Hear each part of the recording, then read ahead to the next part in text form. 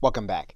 If you were considering purchasing a subscription, there are a few things that you'll want to think about, and you may already have the most popular subscription, which is the Office 365 Home subscription.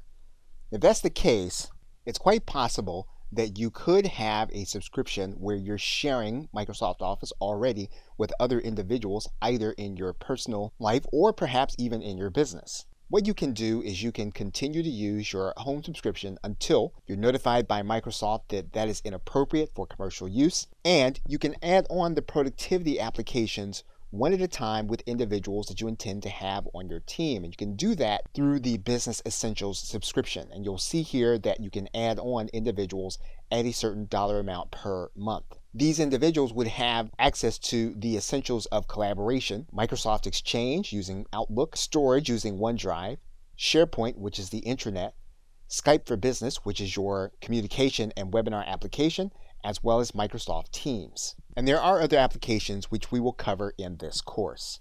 Now, if you are starting at the beginning and you're trying to determine whether or not you will want the more expensive subscription on a monthly basis, you'll want to consider a couple of things. The basic core applications are going to be the same between OneDrive as well as Outlook through Access. With the home version, you'll have access to a desktop version of Skype but that is not Skype for Business, and there is a definite difference, which you will see in this course. And it's quite possible that if you currently do not have a communications or webinar application, that the Skype for Business application may be worth the additional fee that you are going to pay. Okay, so with that, thanks, and I will see you in another video.